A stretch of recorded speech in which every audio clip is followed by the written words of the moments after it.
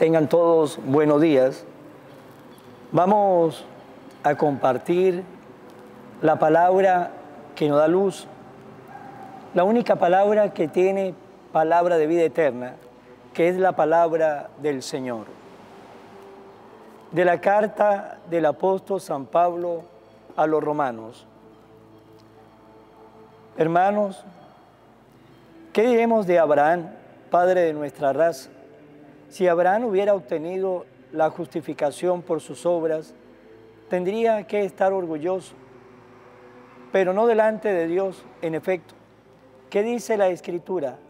Abraham le creyó a Dios y eso valió la justificación.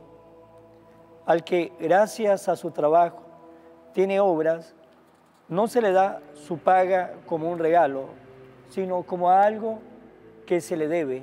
En cambio, al que no tiene obras, pero cree en aquel que justifica al pecador, su fe le vale la justificación. En este sentido también David proclama, dichoso al hombre a quien Dios tiene por justo, independientemente de las obras. Dichosos aquellos cuyas maldades han sido perdonadas y cuyos pecados han sido sepultados. Dichoso el hombre a quien el Señor no le toma en cuenta su pecado. Palabra de Dios. Perdona, Señor, nuestros pecados. Dichoso aquel que ha sido absuelto de su culpa y su pecado. Dichoso aquel en el que Dios no encuentra ni delito ni engaño. Perdona, Señor, nuestros pecados. Ante el Señor reconocí mi culpa no oculté mi pecado. Te confesé, Señor, mi gran delito, y tú me has perdonado. Perdona, Señor, nuestros pecados. Alégrense con el Señor y regocíjese los justos todos, y todos los hombres de corazón sincero canten de gozo. Perdona, Señor, nuestros pecados. Lectura del Santo Evangelio según San Lucas. En aquel tiempo la multitud rodeaba a Jesús en tan gran número que se atropellaban unos a otros. Entonces Jesús le dijo a sus discípulos, cuídense de la levadura de los fariseos, es decir, de la hipocresía, porque no hay nada oculto que no llegue a descubrirse ni nada secreto que no llegue a conocerse. Por eso, todo lo que ustedes hayan dicho en la oscuridad se dirá a plena luz, y lo que haya dicho en voz baja y en privado se proclamará desde las azoteas. Yo le digo a ustedes, amigos míos, no teman a aquellos que maten el cuerpo y después ya no puede hacer nada más. Lo voy a decir a quien ha de temer. Teman a aquel que después de darle muerte lo puede arrojar al lugar de castigo. Se lo repito, a él sí tiene que temerlo. No se vende cinco pajarillos por dos monedas, sin embargo, ni uno solo de ellos se olvida Dios. Y por lo que a ustedes toca, todos los cabellos de su cabeza están contados. No teman, pues porque ustedes valen mucho más que todos los pajarillos. Palabra del Señor. Gloria a ti, Señor Jesús. Jesús siempre aprovechaba el momento. Había una multitud de gente que se atropellaban con el deseo de escuchar las enseñanzas del Señor.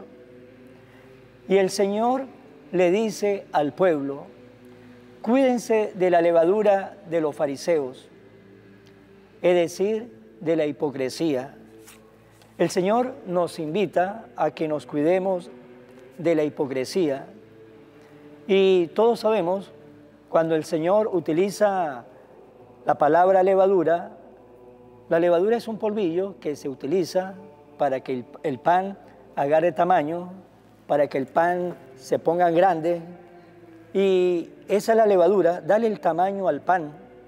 Pero cuando nosotros dejamos que esa levadura vaya poco a poco tomando posesión de nuestra vida, nos comenzamos a inflamar de vanidad, de orgullo, de tantas cosas, que vamos a llegar a la hipocresía y es en eso en que Jesús le dice al pueblo, cuídense de esa levadura de los fariseos, es decir, de la hipocresía, porque los fariseos siempre buscaban que lo miraran, que lo aplaudieran, que lo saludaran, y ellos estaban pendientes del uno con el otro. Nos dice la palabra que eh, llegaban, se colocaban en las esquinas, comenzaban a orar en las esquinas para que lo viera la gente, y entre ellos se miraban, entre los fariseos, y uno trataba de imitar al otro y de hacerlo mejor que el otro, para así de esa manera buscar que la gente lo estuviese mirando, para que la gente lo venerara. Y el Señor nos invita a que nos cuidemos de la hipocresía. Cada quien somos distintos, cada uno de nosotros somos únicos. No tratemos nosotros de imitar a otras personas, vivamos cada uno de nosotros nuestra propia experiencia de fe. Póngase a pensar que San, San Ignacio de Loyola se hubiese solamente concentrado en practicar la experiencia de San Francisco de Asís, o San Francisco de Asís vivir solamente la experiencia de San Agustín de Hipona, o San Agustín de Hipona vivir la experiencia de San Pablo, o San Pablo buscar de vivir la experiencia de San Pedro, pues ellos dejaban de ser ellos para comenzar a ser otros, y eso es la hipocresía. Pues bien, tenemos que ser auténticos. No tratemos de imitar a otras personas porque nuestra experiencia de fe es distinta a otras personas. Podemos escuchar consejos para que nos oriente, para que nos guíe, pero si estamos eh, en un grupo de oración y vemos que una persona levanta la mano, este, los ojos eh, al techo, comienza a orar en voz alta, si nosotros no nos sentimos bien, y no es nuestro estilo, no comencemos a tratar de imitar otro estilo porque no va a caber en nuestra vida y vamos a comenzar nosotros a ser hipócritas porque vamos a tratar de imitar algo que nosotros no somos, vivir algo que nosotros no somos, que nos va a hacer, de hacernos bien, nos va a hacer un daño. Pues bien, seamos nosotros siempre auténticos, vivamos nuestra experiencia de fe. Cada uno tiene un camino para llegar a la santidad. Los otros caminos no pueden enriquecer, no pueden ayudar, pero es el camino que ha recorrido cada uno de esos santos. Nosotros tenemos que recorrer nuestro propio camino, nuestra propia fe, nuestra propia esperanza, nuestra propia caridad. Pero si queremos vivir la experiencia de otro, si queremos imitar a otros, pues vamos a dejar de ser nosotros y vamos a esforzarnos de ser lo que no somos y es ahí donde nosotros vamos a comenzar a ser hipócritas, pues nos dice el Señor que nos cuidemos de esa levadura, porque esa levadura nos daña directamente o indirectamente, va dañando nuestra vida, no solamente nuestra vida vivencial con, con las demás personas, sino también nuestra vida de fe. Y el Señor sigue más adelante en el Evangelio y nos dice, no teman a aquellos que matan el cuerpo y después no puede hacer nada más. Y nos dice el Señor, le voy a decir a quién sí le tiene que temer. Teman a aquel que después de darle muerte puede arrojar al lugar de castigo, a ese sí le tenemos que temer.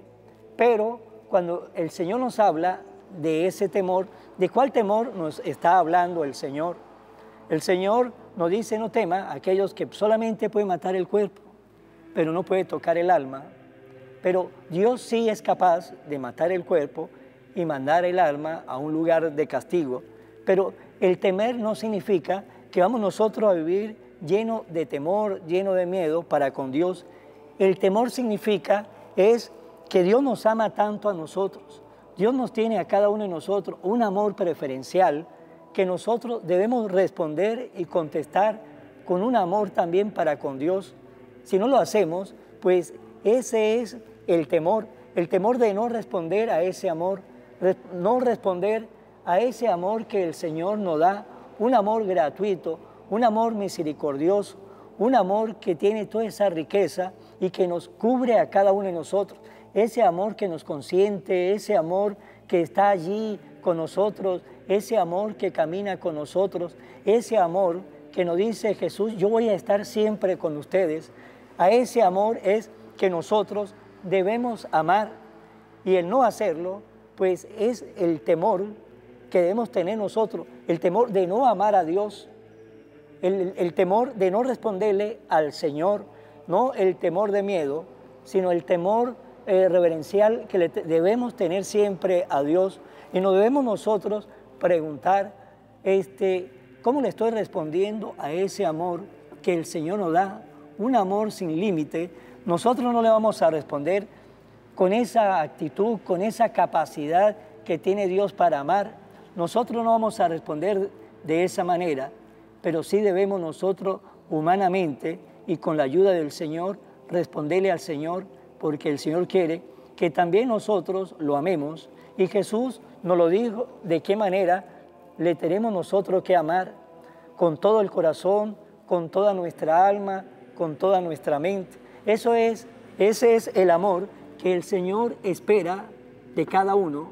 Ese es el amor que el Señor quiere que nosotros le ofrezcamos a Él porque Él siempre nos ofrece su amor, aunque seamos pecadores, Él nos ama, aunque seamos pecadores, Él está ahí, aunque seamos pecadores, Él nos perdona, aunque seamos pecadores, Él siempre nos espera, como el Padre en la parábola del Hijo pródigo. Y luego nos dice el Señor de que si Dios no olvida a los pájaros del campo, tampoco nos olvida a nosotros. El Señor nos conoce a cada uno de nosotros de tal manera que nos dice que todos los cabellos de nuestra cabeza está contado. Póngase a pensar, ¿sí? Para uno ponerse a contar los cabellos de nuestra cabeza. Es algo imposible y el Señor nos dice, hasta los cabellos de su cabeza están contados. Como para que nosotros entendamos, así nos conoce Dios a nosotros si el Señor se preocupa por los pájaros del campo, ¿cuánto más se va a preocupar por nosotros si uno solo de nosotros vale mucho más que todos los pájaros del campo? Pues estemos siempre agradecidos con Dios que nos tiene ese cuidado, ese Señor que nos ama. Y para terminar, nos vamos a preguntar lo siguiente. ¿No estamos cuidando nosotros de esa levadura que nos puede dañar, la levadura de copiar a otras personas, la levadura de vivir inflado, lleno de vanidad, de orgullo, cayendo siempre en esa hipocresía que el Señor nos pone en alerta. Cuidémonos de esa levadura, seamos nosotros auténticos, vivamos nuestras propias experiencias. Segundo, este, no le vamos a temer a Dios, como dice el Evangelio, témale a aquel. No, el temor significa que tenemos que amar a Dios y no amar a Dios, pues eso sí debe producir un temor en nuestro corazón si no lo amamos. Y no olvidar que el Señor nos ama tanto que hasta los pelos de nuestra cabeza Él lo conoce y están contados. Vamos a terminar con la oración a la Virgen María. Oh Virgen María, Madre de Jesús y Madre mía, como en Caná te das cuenta cada día de lo que yo necesito Ruega a Jesús por mí, cuídame siempre, no me dejes nunca, no permitas que me aleje de Jesús, tu Hijo amado. Ayúdame a corregir mis defectos que me aleja de Jesús y a fomentar mis virtudes que me acercan a Él. Sea siempre mi Madre protectora a lo largo de toda mi vida. Amén. Será hasta mañana y ya saben, nos tenemos que cuidar de la levadura que Dios nos bendiga a todos en el nombre del Padre y del Hijo y del Espíritu Santo. Amén.